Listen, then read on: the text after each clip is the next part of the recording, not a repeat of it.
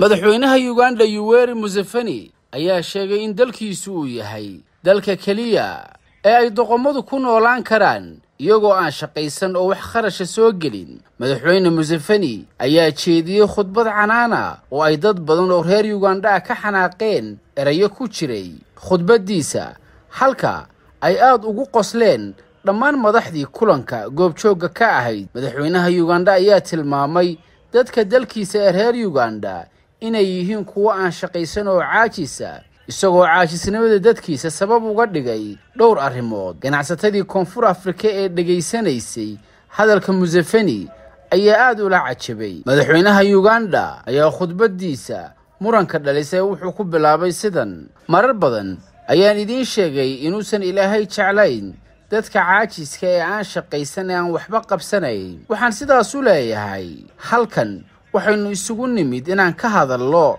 ganacsi wax wada qabsi wax soo saar beereed iyo maalgashi. Yuganda waa dalka keliya ee ay xitaa nacasyadu ku noolaan karaan oo ay ku nabadgeli karaan oo ay ku badbaadi karaan iyagoo aan shaqaysan oo wax lacaga xitaa aysan soo gelin. Dadka reer yuganda waxaan caddaynayaa inay yihiin mashaqaystayaal. Waa bulsho caajisa oo aan doonayn meesha ay joogaan inay horay uga dhaqaaqaan bulshada yuganda kuwooda ugu roon ee raba inay wax qabsadaan nasiib darro. Weli waxay ku dheggan yihiin dhaqamadii hore ganacsigii hore qaab waxbeerashadii hore ee laga tegey. Dadka caajiska ee waxba qabsan waxaa isweydiin mudan maxay tahay sababta? Muwaadiniinteena reer yuganda ay caajiska u yihiin? Aan ka jawaabo su'aashaas. Annagu haddaan nahay reer yuganda waxaan degannahay dhulbaraha waxaan haysanaa laba xilli roobaadyo taasina waa sababta ay dadka reer yuganda u caajiseen oo ay si fiican ugu shaqaysan waayeen. Waayo halkan yuganda noloshu aad ayay u fududahay markaad si u fiirisid. Uma baahnid inaad si adag u shaqayso. Xitaa nacasku wuu ku nabadgeli karaa yuganda bulshada yuganda inay dad howlkara noqdaan. Intaan kala hadlay xisaab male waxaa jira safar aan ku maray waqooyiga yuganda sannaddii laba kun sagaal iyo tobankii safarkaas oo aan halkudhig uga dhigay cidnaha baryin saboolnimada gacmahaaga uga bax. Safarka aan sanadkaas oo dhan ku jiray ujeedkiisu wuxuu ahaa wakhtiga inaan ku dhiirigeliyo reer yuganda inay hurdada ka kacaan oo ay waxqabad la yimaadaan oo ay qaataan howlaha kordhinaya dakhliga qoyska islamarkaana dhimaya heelka saboolnimada. Waxaan halkan mar kale ka xasuusinayaa dadkeenna gaar ahaanna kuwa aan aqoonta sare lahayn inay faqriga kaga bixi karaan beeraha iyo ganacsiga yaryar. Dadkeenna yuganda xitaa qaar ka mid a kuwa waxbartay ma yaqaanaan sida lacag loo sameeyo. Keliya waxay yaqaaniin sida looga shaqeeyo xafiis dowladeed. Kulligeen ma xafiisyo ayaan ka wada shaqaynaynaa? Macquul maaha taasi. Marka shaqooyinka kale iyo xirfadaha kale ee dalka ka bannaan waa inaynu buuxinnaa dadkeenna tuulooyinka ku nool ma aha inay ahaadaan kuwa aan diiradda la saarin. Dhab ahaantii nolosha horumar weyn ayay ka samayn karaan laakiin waa hadday qorsho habboon la yimaadaan.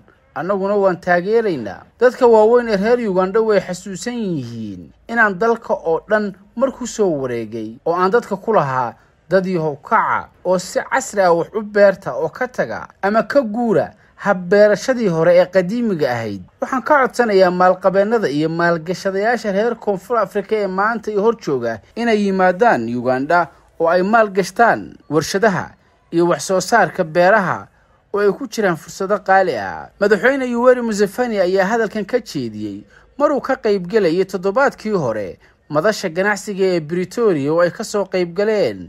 Madaxweynaha south africa iyo ganacsatada ugu waaweyn south africa kuwaasoo doonaya inay maalgashtaan uganda.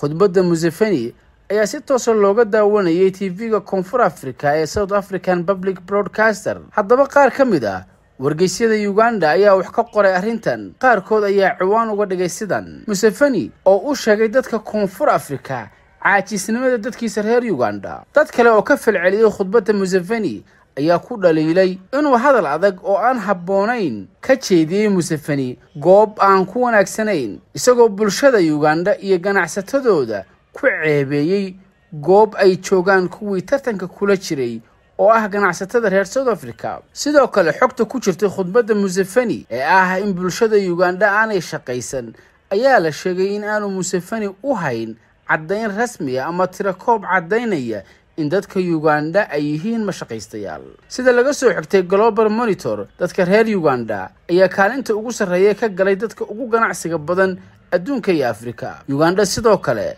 waxaa u soo baxay muddooyinkii u dambeeyey hogaamiyaal dhowr nooc ah oo heer gobol iyo heer caalami oo ay ku jiraan mulkiilayaasha qaar ka mid a shirkadaha koonfur afrika sida ay xusayso monitor. Dhinaca kalena waxaa jira dad aad u badan oo madaxweyne museveni ku bogaadiyey. Siduu ugu dhiiraday ama ugu dhiiran yahay inuu dadkiisa ku guubaabiyo in ay wax la soo baxaan. Dijeng vicente oo ka mid ah xeelleerayaasha ka faallooda arrimaha ganacsiga ayaa madaxweynaha uganda ku ammaanay inuu yahay hogaamiye wacyigiisu sarreeyo oo ummadiisa ku baraarujinaya inay wax soo saar la yimaadaan wuxuuna ku sifeeyey. Madaxweyne garanaya waajibaadka ka saaran dadkiisu inay faqriga ka baxaan iyagoo ka faa'iidaysanaya khayraadka eebbe ku manaysta haddaba adigu sidee u aragtaa? Hadalka madaxweynaha uganda oo ku saxan yahay siduu dadkiisa u dhaliilay ee uu ula hadlay museveni mise waa uu ku khaldan yahay? Fikirkaaga qaybta falcelinta nagula wadaag waa cabdisaaq jubbaland intaan dib u kulmino nabadgelyo